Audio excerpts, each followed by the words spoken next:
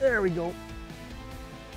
That's a Is that a s- walleye off of here. This Oh is yeah, that's walleye. walleye, walleye, walleye. All I had to do is get off the meat and get on the plastic, Al. Mm, not just- Oh yeah.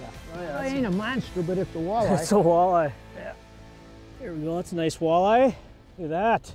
You know, one thing I've come to appreciate over the years, when I was younger, I drowned so many minnows over the years, but now I'm smarting up, especially in the fall time, when you're talking about cold weather and sticking your hand in cold water for minnows, just aren't going to do it.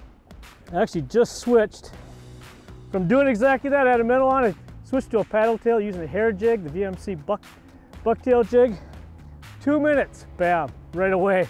It works. Plastics work flat out better than live bait in most situations. Many cases, many you don't cases. have to deal with cold hands when you're talking about cold weather, fall patterns.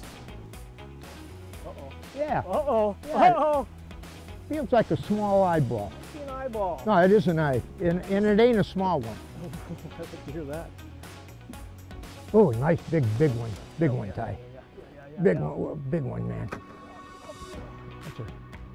That's maybe I want her to see it. That's what Oh, we're look, look at her, look at her, That's baby, what we're huh? here for. Ugh.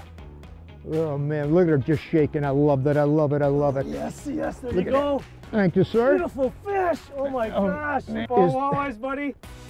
Is it fun or is it? oh. there you go. And that, baby? Huh? Whether or not Whether or not that was the decision. Do we go out or not to beat the weather? Well, we ain't been out here too long, and we're scoring pretty, pretty darn, darn good. Whew. It don't get much better than that this time of the year when you, yo, there she Oh, goes. she goes.